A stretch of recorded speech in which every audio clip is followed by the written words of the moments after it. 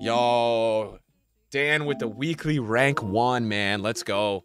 All right, Dan, let's go, man. Is it PS4 tax, you feel like? All right, man, rank one. You want to give me controls? I want to see your team. Dan has just got rank one. He is on PS4, so his team might be a little bit different. I think the playstyle is a bit different.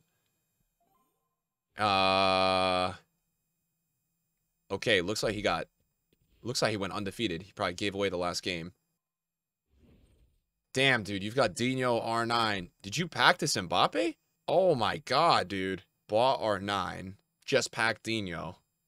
So you packed team of the season Mbappe, and you packed Prime Dinho probably in the span of like a week. That's crazy. It's got Rodrigo off the bench. Oh, yeah, SBC. Whoops. Yeah, so he probably did the SBC. Never mind. Dan, Dan's been watching the stream. He gets rank one like every week, dude. We always open his rewards. Okay, team of the season. Uh, Moreno. And last player pick. Not a team of the season. Thomas Muller. Okay, here we go. Cuadrado. Okay, so that's pretty bad, I feel like, price-wise. But I think he's surely going to use Cuadrado. Hopefully this is a lot better.